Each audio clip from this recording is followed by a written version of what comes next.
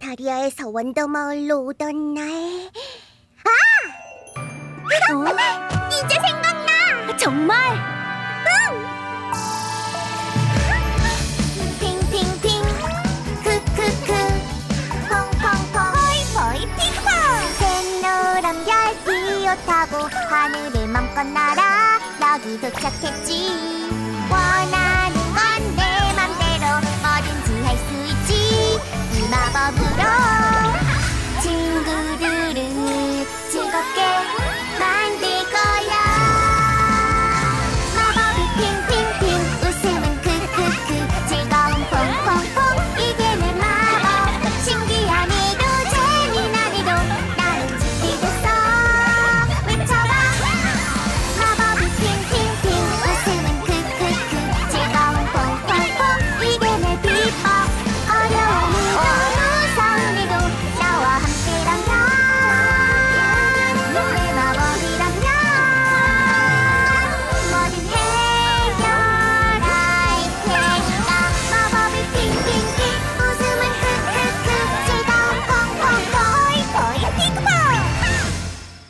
영상 재밌었어?